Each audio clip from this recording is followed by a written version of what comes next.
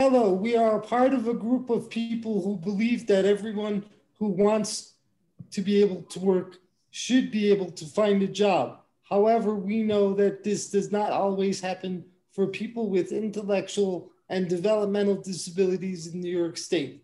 I am a part of a group of employment experts working on a project to help disabled adults who want to work find meaningful jobs with fair wages. In order to figure out how to do this, we first need to better understand the problems and challenges that disabled adults face. This is where you come in. Our group wants to hear your story and the stories of others. If you got a job, if you tried to get a job but didn't end up working, or if you wanted to work but never looked for a job. We plan to listen to many stories so we can look at what is similar and different about them. We will write up a summary of what we learned for the public to read and to help guide recommendations to New York State to improve the employment opportunities for disabled adults. Are you interested in sharing your story with us? We will keep your name private and will not use it in any of the reports that we write.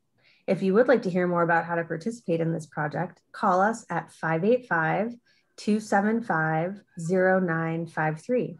Or you can fill in your contact information on the contact form link in the video description. Someone will reach out to you to tell you more about the project. We look forward to hearing your story.